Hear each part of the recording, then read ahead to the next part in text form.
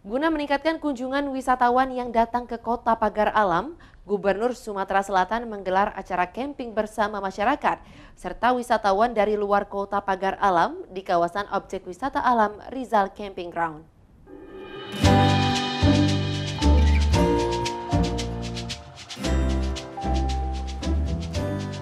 Camping bersama Gubernur Sumsel Herman Deru, turut hadir Wali Kota Pagar Alam Alpian Maskoni, Forkopimda, anggota DPRD Provinsi Sumsel Alprensi Panggar Besi, serta jajaran OPD Pemprov Sumsel dan OPD Pemkot Pagar Alam.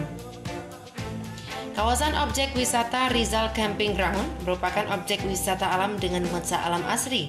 Di lokasi objek wisata ini juga dilengkapi berbagai spot foto menarik serta bernuansa alam.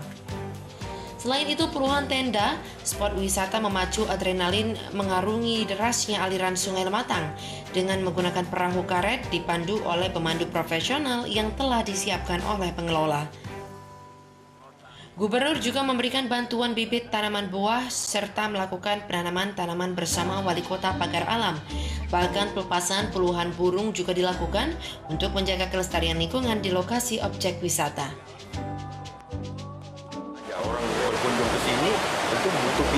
Pilihan-pilihan dan tujuan-tujuan tambahan. Nah, inilah yang uh, diawali oleh Rijal Camping Ground ini dengan melengkapi segalanya, kuliner, olahraga airnya, ada foto, spot foto, terus ada gunung-gunungnya itu.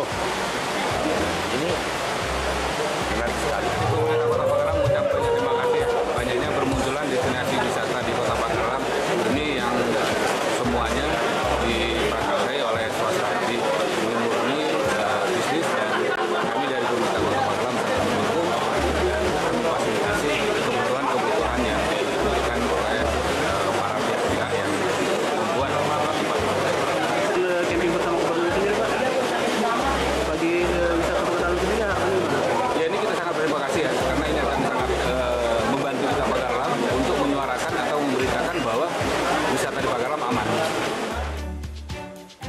Camping bersama gubernur diharapkan mendapat meningkatkan kunjungan wisatawan ke Kota Pagar Alam yang aman dan ramah bagi wisatawan.